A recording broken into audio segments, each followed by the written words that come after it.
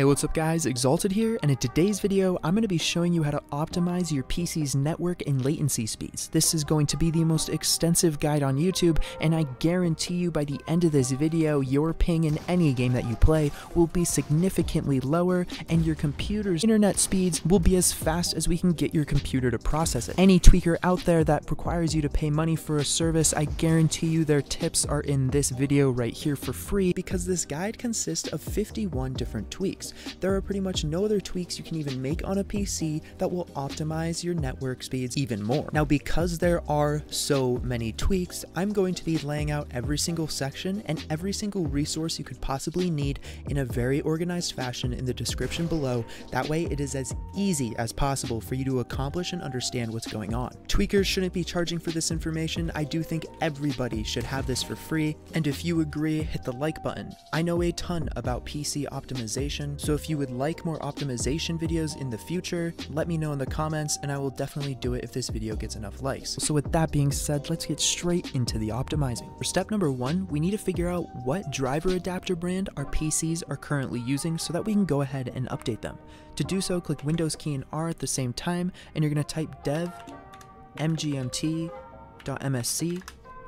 you're to go ahead and go under network adapters right here and you can see for me, I've got Intel network adapters. Other network adapters you might have are going to be Killer Networking, Realtek, or Broadcom. I'll have the update links in the description below, and I'll go ahead and show you guys how to do that. For Broadcom drivers, all you're going to do to download this is you're going to scroll down, click the checkbox, click I agree, and then your download will start, and you're going to go ahead and open it, run it, and go through the easy installation process. Next, for Killer drivers, you're going to go ahead and go to this link. You're going to find the driver that fits your system. It's probably going to be this one for 64 4-bit systems right here, you're then going to go ahead and click download and then go through the easy installation process. Finally, for Realtek drivers, you're just going to scroll down and click this here, assuming you're on Windows 10, which I hope you are if you are using this guide. Once you click this button, you're going to go ahead and just check I agree, and then you're going to give them a fake email, and then you're going to go ahead and solve their little security check. If they give you a math problem, go ahead and do the math problem correctly and don't copy and paste anything. Then proceed to install it to your computer. For Intel drivers, what you're going to do is you're going to go ahead and download the zip here for 32-bit systems or here for 64-bit systems. Once you accept the terms, the download should begin.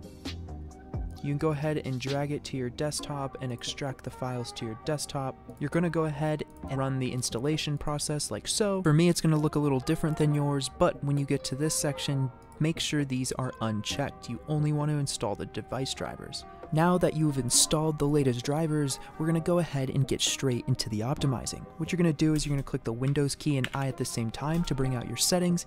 You're going to click Network and Adapter Settings.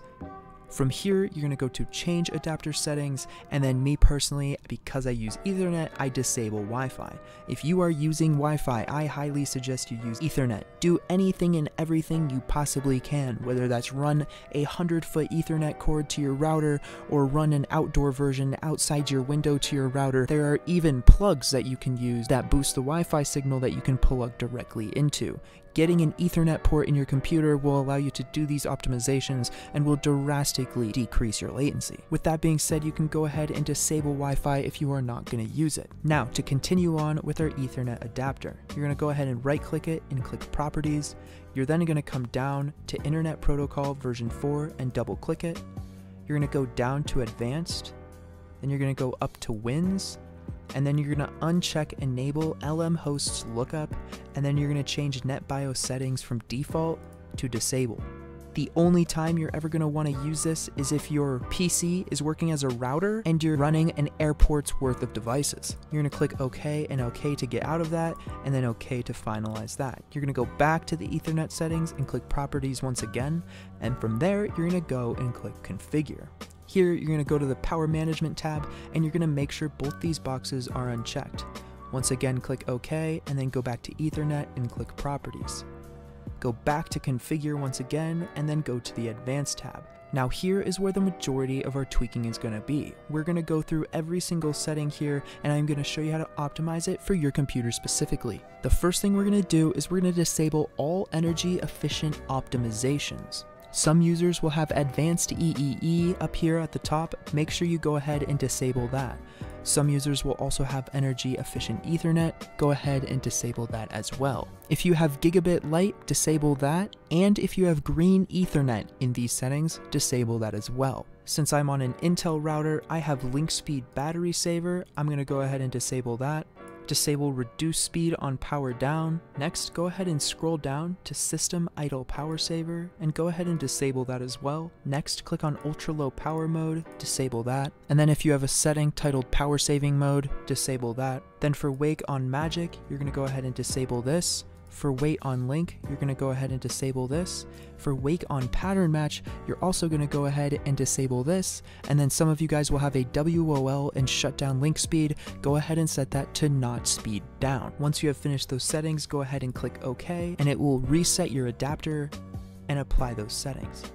Now we're going to go ahead and get into more advanced optimizations. Go ahead and right click your ethernet adapter once again, click properties, click configure and go to the advanced tab, and I'm going to go ahead and walk you through every single setting. For adaptive interframe spacing, disabled. For enable PME, disabled. Energy efficient, off. Flow control, disabled. Gigabit master slave mode, keep this on auto detect, do not change that. Interrupt moderation, disabled. Interrupt moderation rate, off. For IPv4 checksum, we are going to come back to that later. For jumbo packet, make sure this is disabled.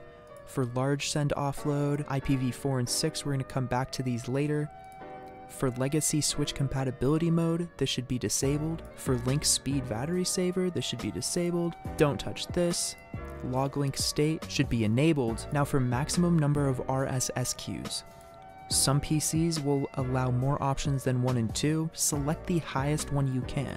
Now only do this if you have a decent CPU. By changing this to the highest possible setting from where it's at if it can go any higher for you, it will probably decrease your FPS by about 1 to 5% in game. 1% if you have a very good CPU, about 5% if your CPU is slightly lacking. With that being said, packet priority in VLAN, we're going to go ahead and disable this. For protocol ARP offload, go ahead and disable this, and for protocol NS offload, go ahead and disable this. Some of you will have these settings up here on the top because it'll be ARP offload, NS offload, and it won't have protocol in front of it. They're pretty much the exact same thing. For PTP hardware timestamp, go ahead and keep this disabled, and then for receive buffers, we're going to go ahead and get to this a little bit later. For receive side scaling, go ahead and disable this and reduce speed on power down disabled. For RSS load balancing profile, go ahead and do closest processor, and for software timestamp, keep that disabled. Now for speed and duplex, you're gonna go ahead and do the highest full duplex option that you can. If you have 100 megabytes per second internet, you're gonna do 100 megabytes per second full duplex. If you have one gig internet, you're gonna do one gig full duplex. I have one gig, so I'm gonna be setting it to this system idle power saver, make sure that's disabled. We're to get to TCP checksum offload 4 and 6 later. Transmit buffers we'll get to later. UDP offload, we'll get to those two later as well. And then for ultra low power mode, make sure this is disabled. Now for wait for link, make sure this is on auto detect. And like I said earlier, these three settings should also be disabled. Now we're gonna go ahead and get into the checksum offload settings. So this is gonna be this setting, these two settings right here, and then it's going to be these four or these four settings right here. So what these settings are going to do is they're going to take all the network processes and they're actually if you disable them, they're going to go ahead and run them on your CPU. Now the benefits to this is most of the time your CPU is much quicker and much stronger than your router or modem is, meaning it can go ahead and solve these processes much quicker. This will definitely reduce your ping, but it does come at the cost of FPS because it is requiring slightly more resources from your CPU. If you have a very strong CPU, definitely go ahead and do this. If you don't have a strong CPU, definitely try it. If it does not work or reduces your frames or is making you stutter in any way, just go ahead and turn them right back off. Now, if you have a router specified for gaming with QoS, which stands for Quality of Service Options enabled, do not disable these. So with that being said, we're going to go ahead and disable all of these settings right here. So that includes IPv4 checksum offload, large send offload IPv4, large send offload IPv6. Then we're going to scroll down TCP checksum offload IPv4, then the same one for IPv6. We're going to disable both of those. Then do the same for the UDP offloads and like I said, just try these out. It'll help a ton if your PC can handle it. If your CPU can't handle it or you have a really good network router, go ahead and just keep them enabled. So now right here on the screen, I'm going to go ahead and just show you all the settings that will affect your CPU. That way, if you want to mess around with them, which I do highly suggest you do, you know exactly what you need to change and test out. Like I said earlier, all these settings should only result in about a 1 to 5% FPS decrease in your other games depending on how strong your CPU is. Once you're done with that, click OK and it will apply the settings, and then finally, we've got a few more to go through. Under advanced, you're going to scroll down and you're going to see transmit buffers and receive buffers. Receive buffers must always be half the value of transmit buffers. Since I'm on an Intel driver, the max value for transmit is 2048, and the max value, like I said, since it has to be half for receive buffers, is going to be 1024. If your PC can't handle this, just go down halfway increments until it can. If you have a decent CPU, definitely put these on max, and if your CPU is slightly lacking, I definitely suggest trying it out, but maybe lowering it if you need to. Once you've gone ahead and done that, click OK, and you are done with all the advanced Ethernet adapter settings. Now let's get straight into part number three. This is where we're going to use the MSI mode tool. I have the download link in the description below. Once you go ahead and download it, you're going to right click it and run it as an administrator. Now, if and only if your Ethernet connection adapter has MSI as one of its listed supported modes, then you can go ahead and click this checkbox. If you do not have MSI as a supported mode, do not click this checkbox. Since I have MSI as a supported mode, I'm going to go ahead and click the checkbox. And then another misconception that a lot of you may have, some of you may have your graphics card set to MSI mode, which is totally fine if that's best for your PC, but here over on interrupt priority, make sure every single thing is undefined. Your CPU will interrupt everything in the most efficient route possible. If you have a priority changed from undefined, yes, it will prioritize that one thing, but it comes at the cost of every single other thing. Once you've gone ahead and done that, click apply, exit out, and let's move on to step number four. For optimization number four, what we're gonna do is we're gonna go into the registry and we're gonna turn off network throttling. To do so, you're going to click Windows key and R at the same time, then type regedit, R-E-G-E-D-I-T, and you should be greeted with a screen that looks something like this. Go ahead and make sure you click H key local machine, then double click software.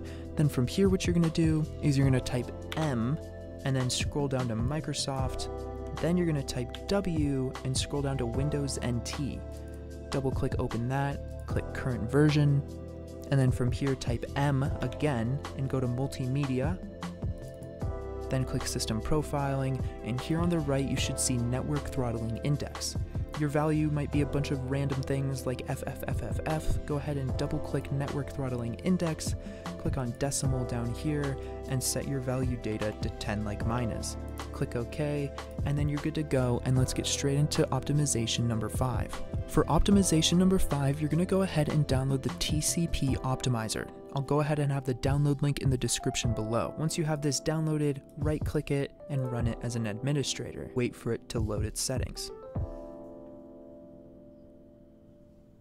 Once it's loaded, you're to go ahead in the top right and click the MTU slash latency tab, and then you're to click the largest MTU, and click yes if it comes up for you,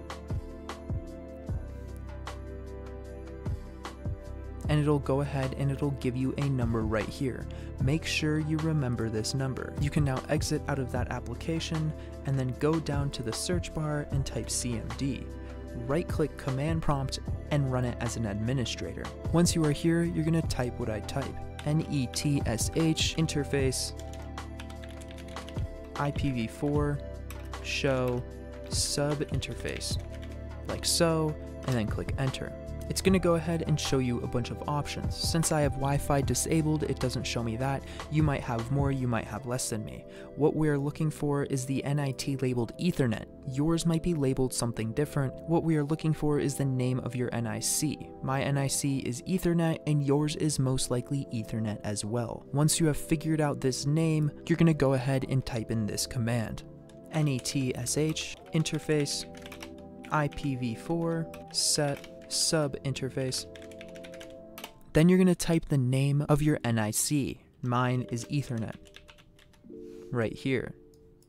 Followed by MTU equals, and then here you're going to go ahead and type that number that I told you to remember from the TCP optimizer program that we ran. Mine was 1500. Following this, you're going to type store equals persistent, and you're going to go ahead and click enter.